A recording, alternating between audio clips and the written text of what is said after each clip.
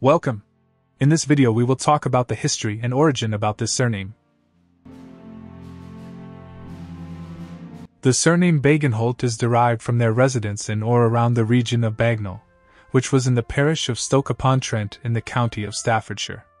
The Bagnalls, at present best represented in the district of Stoke-on-Trent, were an ancient family of Newcastle-under-Lyme, members of which filled at various times the office of mayor, the family came into possession of the manor of Hanley 150 years ago.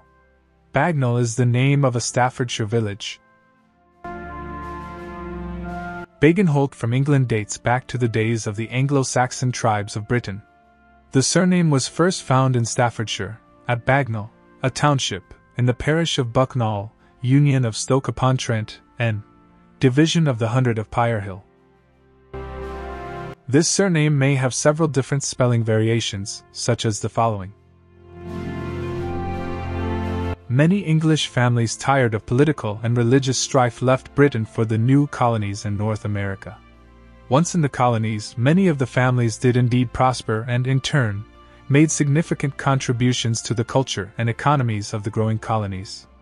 An inquiry into the early roots of North American families has revealed a number of immigrants bearing the name Bagenholt, or a variant listed above, Walter Bagnall, who settled in Maine in 1626.